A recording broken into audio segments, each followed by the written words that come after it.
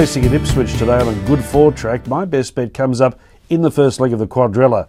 Number three, Mida Lee. She's had four runs this time in, all good, crying out for 1350. She gets that today, and with Michael Calder ride, I think she'll be too strong for them. Race six, number three, around 350. I think that's the right price. She'll also be an anchor for the first leg of our quadrella, so mark her down race six, number three. In race 7, 11 Abracadash, very hard to beat, but also put number 10 Conniving in the quadrella, so 11 and 10 race 7.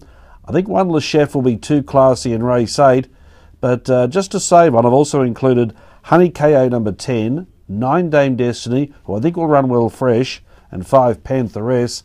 The last race is a hard race. 8 Regali at around $7, my top pick, but 5 Sankara Spirit. Number 4 Magnitude and number six, Hit the Road Jack, include them as well. Good luck with your bets at Ipswich today. Mightily my best in race six.